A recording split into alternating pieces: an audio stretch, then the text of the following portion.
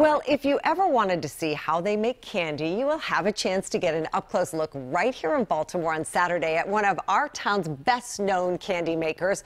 Ron Matz reports on a free and sweet way to start the weekend and right before Easter shopping gets underway. It's a chocolate lover's paradise. This is Wockenfuss Candies. So we run a milk chocolate line, we run a dark chocolate line. Paul Wockenfuss and his family have been in the business of catering to your sweet tooth for more than a century.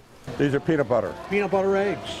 They've stayed in the city, moving to this new factory and store on Harford Road eight years ago. Our number one criteria was we were staying in Baltimore City. The people of Baltimore started us and supported us.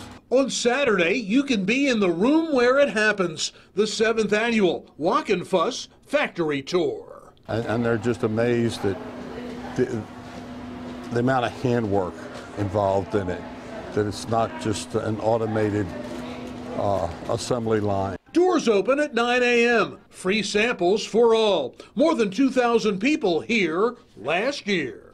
I love seeing all the faces. It's, it's really fun from small to tall. It's, it's great. If you love chocolate, you have a lot of company. Wockenfuss sells 60 tons of chocolate every year. Nonpareils are number one. Maybe you'd like a 25 pound bunny or a smaller one. It's a Willy Wonka wonderland for the entire family. They just thank us all day long that they got to see how it was all done. Ron Matz reporting for WJZ.